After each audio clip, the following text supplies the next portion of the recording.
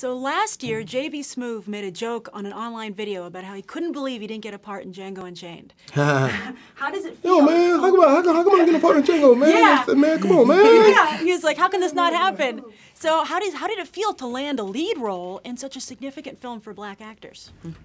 Oh well, for me, I was like, I'm just like JB Smoove. I just wanted to get in on it to be able to work with Quentin Tarantino, Kerry Washington, and everybody else.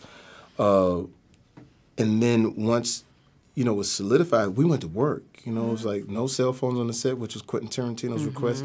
And we were in this, we were in this world, in this, and we were like a artistic family tackling uh, slavery in the most different way, in a hum- humorous way, in a serious way, and all of that uh, with the backdrop of a western. Django goes from victim to vigilante. Mm-hmm. Yeah, and Well said. Thank you. And there are victims across the globe throughout history. What do you hope people take away from the film? It is. It's a story of hope. It's a story of, of somebody who's been told that he's less than, but who knows that he is worthy of the best, you know, and he he saves himself and rescues his woman. It's a hopeful film. It's an adventure all about what you might do for love and how that could save you. Well, you know, I think that for a lot of Halloweens to come, we're going to be seeing a lot of Django's and Broomhildas. I know I'm going to Django for sure. Right? In the blue, right? In the blue.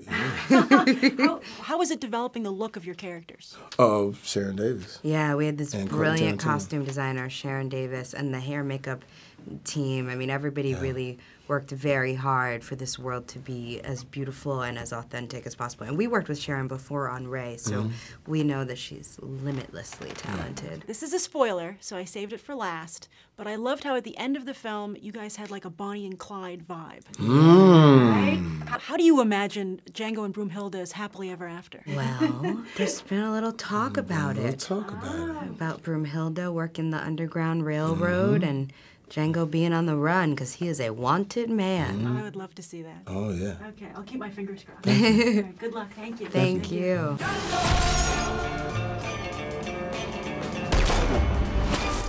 Adult supervision is required.